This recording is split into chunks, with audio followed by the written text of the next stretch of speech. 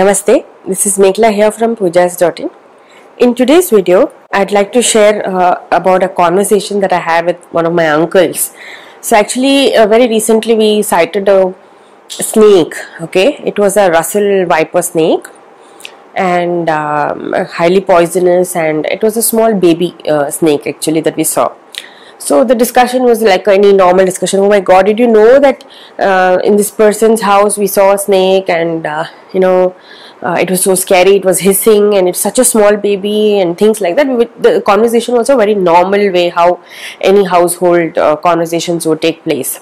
So, in the context of the conversation, my uncle was teasing me. He said, You know, uh, don't tell me you have a remedy for this as well. People who see snakes, does it imply anything in astrology? And uh, um, I think if it implies anything, then I'm so sure you'll do a video also on that. So I said, Yeah, that's a good idea. Why not? I'll do it.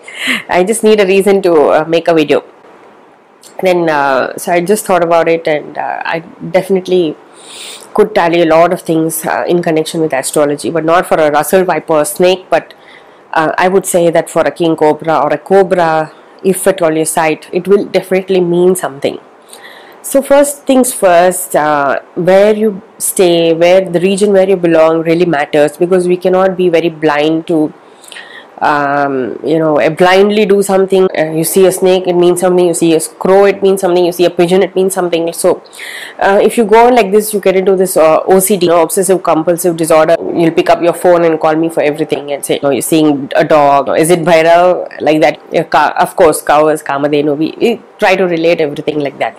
But particularly for uh, cobras or generally for snakes we do attributed to the divine because they are really um, they're called snake gods and naga devatas and they definitely possess powers and they are superior beings. They are also evolved beings.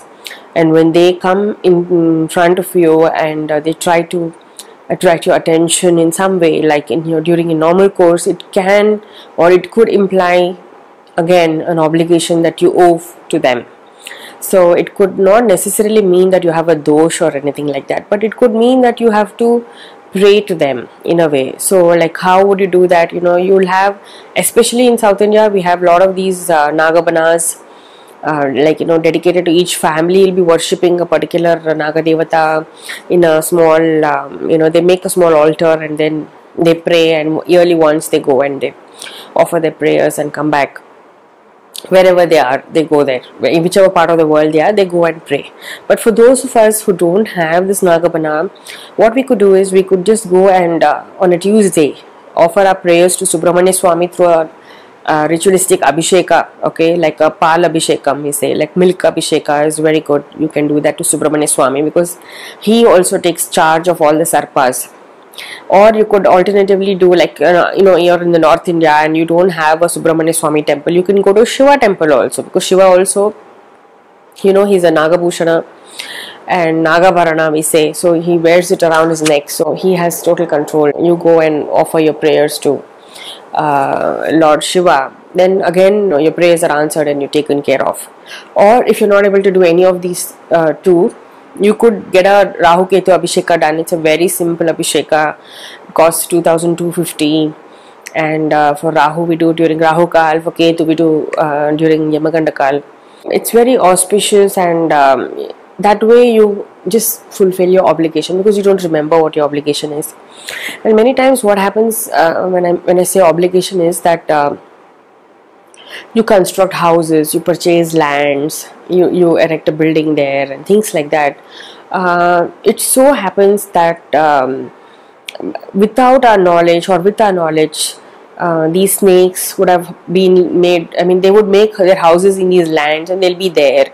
They'll be hidden, so you won't know. But when you excavate the land and you do the construction and things like that, we are actually disturbing their house so they move to another habitat they make they move to another place and make that another place a habitat and things like that so what exactly happens is that you're disturbing their house so even that could be a dosh it could cause a dosh or a sharp of course when you do the griha pravesh and things like that you do it so ritualistically that all these things are covered in that. You're not negatively impacted by, by your actions of actually spoiling a another being's house uh, to establish your own house.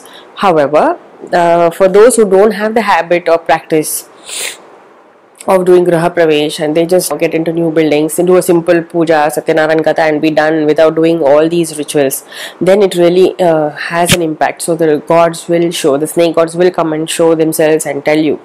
Or it could be many times that you're driving in the car in a highway or even generally on the road and you don't see the snake passing by. You may even go on top of that.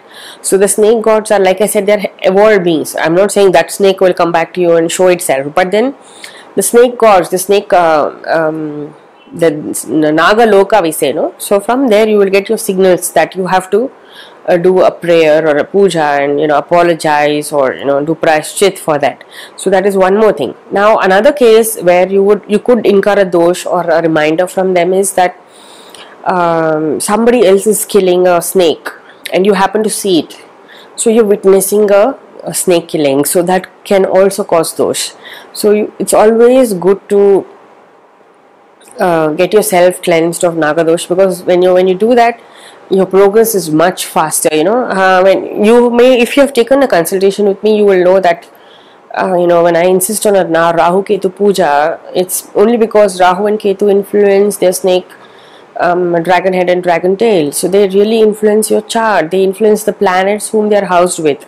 They also influence the houses they are aspecting, and they are also influencing the um, the house in which they are uh, staying. So you know, a lot of this is there, and you know that's why you have Kala Sarpadosh, you have Nagadosh, you have Ardhakara Sarpadosh, you have um, Papargala, and so many things are there. So those are all the things which like you're born with. I'm not talking about that. I'm just talking about you um, just happening to have a, a rendezvous with a snake, or you just happen to see a snake and and you don't know what to do and uh, you, you want to know if it means something then you could do that now, if you ask me, what about Vishnu? Can we pray to Vishnu? Yeah, pray to Vishnu because he was resting on the he rests on Adishesha. See, all forms of divi- uh, divinity, uh, they all have some connection with the Naga Devata. So that means they have not forsaken the Naga Devata. They have elevated Naga Devata to some extent to be eligible to be with them. Like if um, Subramanya Swami is wearing a snake, Shivaji is wearing a snake, if Vishnu sleeps on a snake. So you can imagine that the uh, snake god has some kind of a power, which is why you should not ignore them. You should respect them, and you should always, like on a Shashti, also you can keep your fast, or, or on a Shashti you can do uh, Abhisheka to Subramanya Swami. Like this, if you do, then definitely um, it will really help you a lot, and uh, definitely you can see progress. If not anything, the, the snakes will not interfere in your life unnecessarily and uh, they will contribute to your growth. So, uh, what started off as a, casual discussion, a hilarious uh, conversation, actually ended up being a video because um, I said, you know, there's no harm. In fact, it's good to tell people that it could mean something. And uh, if you see a snake in a dream, also, definitely you should get a Rahu Ketu Abhisheka done. If you have just watched on National Geographic or um, Animal Planet, some snake, some show which talks about snake, or on YouTube if you watch some videos related to snake and you dream of it that night, then I don't think it's the dosh, it's the it's your subconscious uh, trying to recall what you watched. But otherwise, generally, randomly, you literally uh, come face to face with a snake, and then you get this done. It's good for you. That's all. No harm. In fact, better that way. So uh, there's no side effect or negativity. It only it's like a bonus just one more grace point in your bag. So that's how it is okay? Um, i hope this video is helpful for you all and uh, all the best. Uh, don't don't call me and say i went to the zoo i saw uh, a snake i saw a snake park and you know i saw so many snakes should i get a rahu done. Please don't do all that. I've already clearly stated everything in the video okay? Um, now use your discretion and if you feel you should you can contact me and we'll get a puja done for you okay? Thank you so much. Namaste